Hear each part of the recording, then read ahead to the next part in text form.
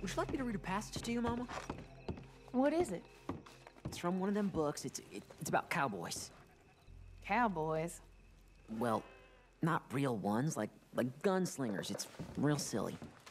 No, I think I had enough of silly idiots who think they're gunslingers. Whole goddamn life I've been surrounded by idiots who thought they were living in a book. Only it ain't that way.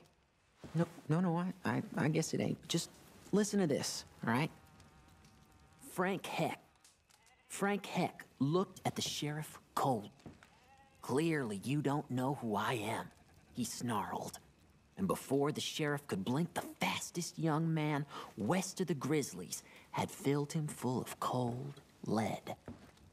The town was free once more. Who writes that nonsense? Go to bed, son. Yeah, I know.